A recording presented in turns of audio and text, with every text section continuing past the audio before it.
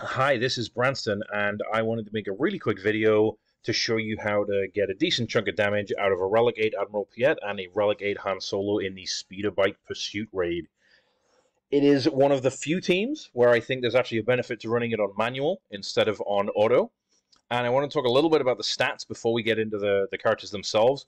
Uh, the only stats I really care about are speed, because that's going to decide how many turns we take. Um, and then if you look at at accuracy, that's for sideswipe. We don't care about that for this run. Critical avoidance, timber, we don't care about that for this run. Uh, critical chance, we kind of do care about, but we're not going to go out of our way to improve it. But um, basically, the higher the higher the critical chance, the more likely you are to reduce an ally's cooldowns. And when an ally's cooldowns are reduced, if they have enough critical damage, they will gain turn meter, and, and we care about taking as many turns as possible. So we need to get our critical damage up to the point where we're gaining turn meter whenever whenever we hit this this percentage chance from critical chance. Now, we're not going to use a critical damage set, so we're stuck with just using triangles, which for Piett and Han is going to have Piett in the 180 to 199% bracket, and Han in the 200 to 219% bracket. I see some things talking about attack damage. Um, the way PS mechanics work, we're going to be not really using as attack damage, more using the stacks of evasion that we build up. So I think the investment required to get above 10,000 attack, they're both going to comfortably sit above 6,000. But the, the investment required to get above 10,000 attack, I don't think is worth it for the extra four stacks of damage that we are going to be removing.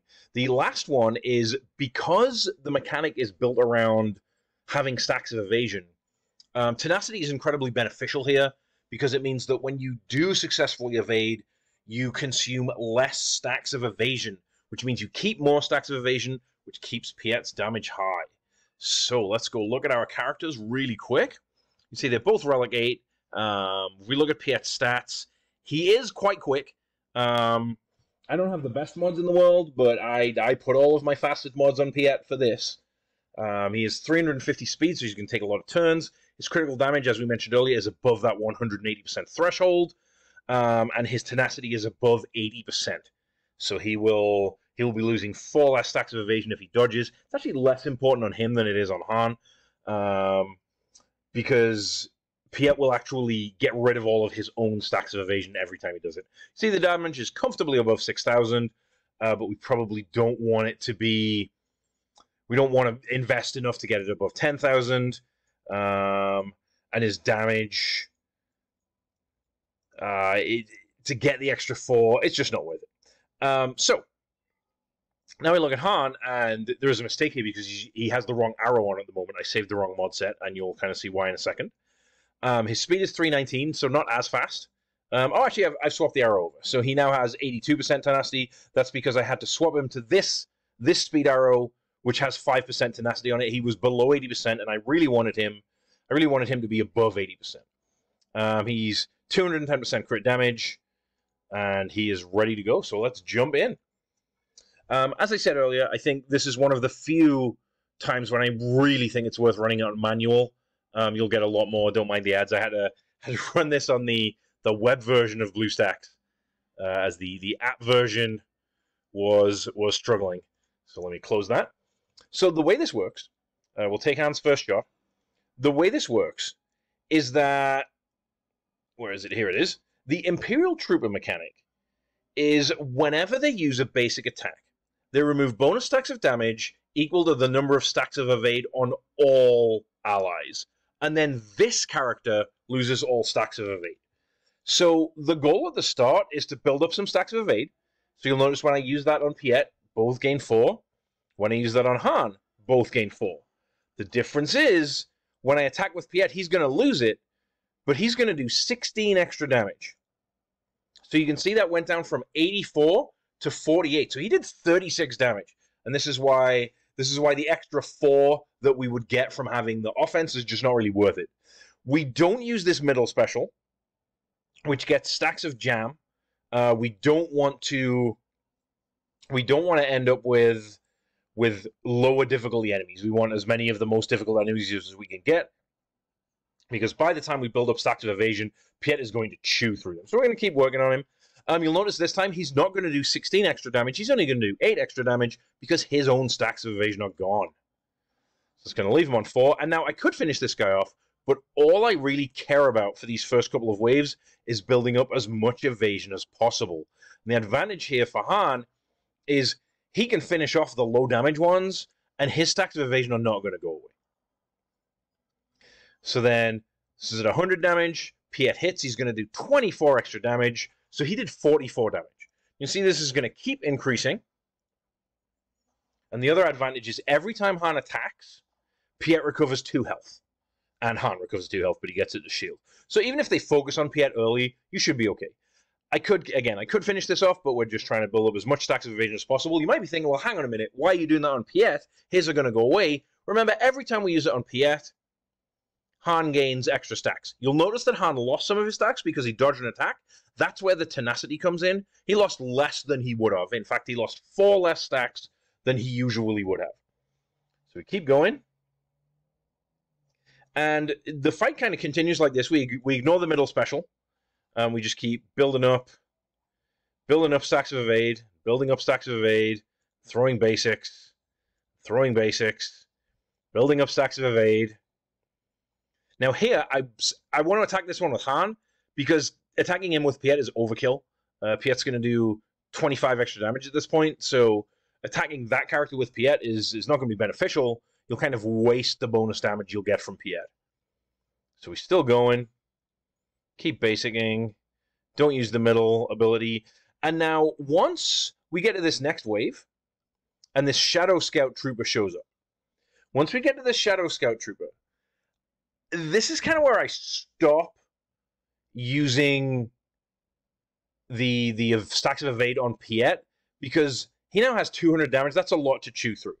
But by this point, Piett is doing 29 extra with each attack. So you can see he went from 184 down to 135. That's a lot of damage. Piett attacks again. Han still uses it every time. So now next time, this is going to be 37 extra damage for Piett.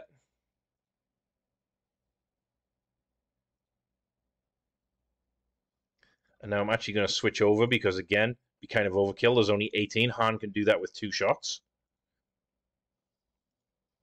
And so I'd rather get the I'd rather get the big hits in on the other guy. And then raise up the evade. This is Piett again, so we're gonna attack this guy. See, 50 casual 50 damage.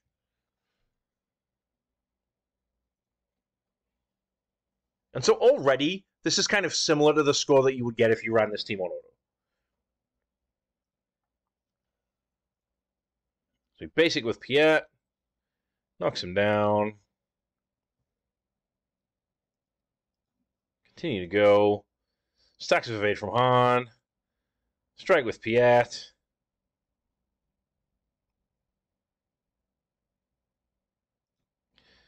And it was a little bit unlucky at the start that we had Han lose those those stacks of evasion by dodging in a kind of in a weird twist of fate.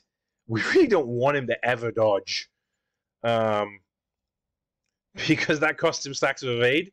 And if you think about it, every single time Piett attacks, then those stacks of evade that Han lost, that's damage that Piett is not dealing. So up to 1.5 million, and you'll see the enrage percentage here is coming up to 80%. Uh, this is Han, so I'm going to use his ability. So I'm hitting for 62 at the moment, which is a little bit lower than I would than I would usually like. Um, in an ideal world, we'd probably be hitting for about 80 by now. And there's a decent chance that Piett dies soon.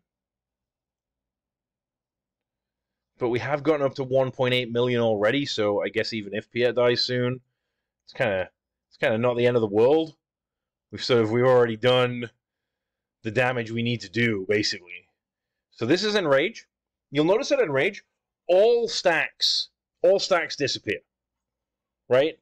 All stacks of it disappear, and so our trick for doing extra damage is is now gone. Right? We're not going to do the extra damage anymore um, so we just keep going until we die. There we go, 1.989 million. Um, it's a little bit disappointing for having put the mods on there. Um, but it does give you a pretty good idea. You can get one this you can get this kind of score very easily with realistically no remodding as long as your characters have decent mods, which I assume they will in Piett's case because he's a pilot. Um, I think it's Han too for the Falcon. If you want to finish now, absolutely do. Um, I'm going to stay on for a couple of minutes, and I'm going to try another run with a little bit less commentary, so I can go quick, a little bit quicker, uh, and see if I can get a more sensible run that doesn't involve that early dodge from Han. That early dodge from Han was kind of devastating, um, and that is going to happen. It's probably not worth your time to redo this and fish for like a killer run if you have if you have a run that's up around that's up around two million. You're probably good to go. Um, but for this purposes, I really want to really want to kind of show you what it looks like um, when Piett goes goes firing on all cylinders. So remember, no middle, no middle ability. At the start of the fight, I'm still spamming evade with Piett. I'll stop later as soon as the Shadow Scout troopers show up. So we're still going. Hit Piett. Please hit Piett. Don't hit Han. And especially don't have Han dodge. That'd be a disaster. So we're still up in the number of stacks of evade. So right now I've got 40 already. Um, so you can see that's a lot of damage that Piett did there. Uh, I'm going to swap over to the other side just because I don't want to waste his extra damage when Han can finish this in a couple of shots. Like I said last time, yeah, Han dodged. Great. Kind of disappointing. Is what it is. Uh, Han could finish that guy in a couple of shots. Maybe that in itself was reason enough that I should have killed him. Uh, we keep going. And now the Dark Scout Trooper comes in. And so now I just focus on Han building up his stacks and Piett blasting away.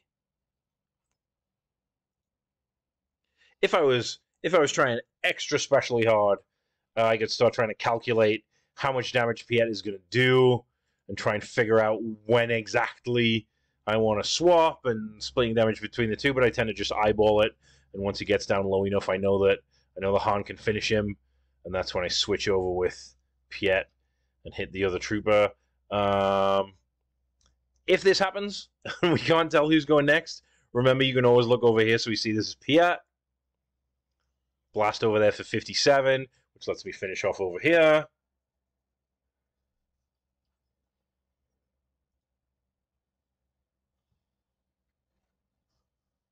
And there's my ad again from online BlueStacks. Uh, the app version of BlueStacks did did not like this raid for me. That's unfortunate, but it is what it is.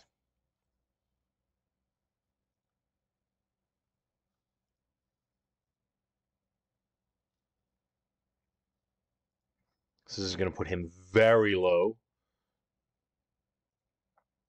There we go. And I could have finished him off with Han, but get the stacks of evade up instead. Don't want to waste Piett's damage on two stacks of damage. That would seem very silly.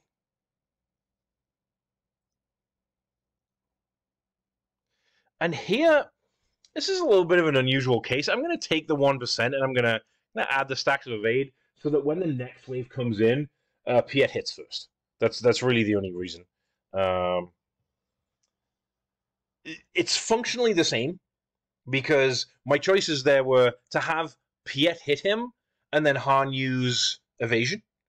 But instead, I chose to have Piett use evasion and Han hit him uh, so that Piett goes first for the next wave.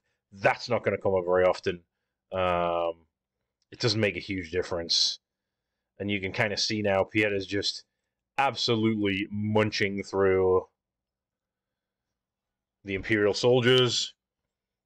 Enrage is up to 89%, so we'll finish this wave. And ideally, the goal is to finish this wave, which is going to put us is going to put us at the uh, roughly the two million, and then we want to kill one of the people in the next wave.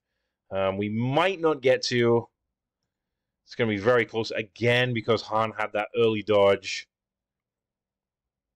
What we really need here is to for Piett to get to attack twice, but I don't think he's going to before we lose the stacks. Oh, he is. There we go. And so now hopefully we can finish off, kind of scrape through this 33. We're not going to. But we got above 2 million. So again, like I said, not worth it. Um, but you do get to see how it works, and hopefully this helps.